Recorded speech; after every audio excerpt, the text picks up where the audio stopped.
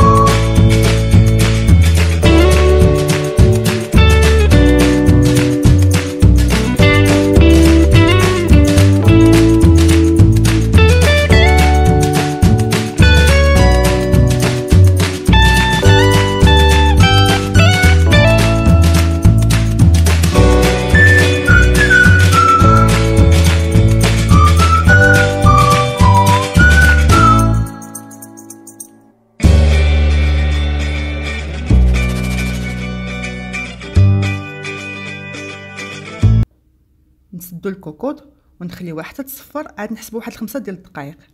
من بعد نطفيو عليها العافية ونخليوها مسدودة. ما نحلوهاش نخليوها مسدودة لمدة خمسة دقائق واحدة أخرى. عاد ديك الساعة نحلو عليها وتلقاوها واجدة. وبالصحة والراحة.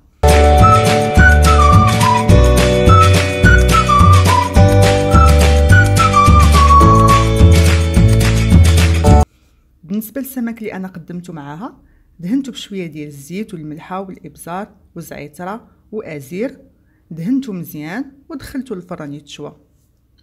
هذا مكانه بصحتكم وراحتكم.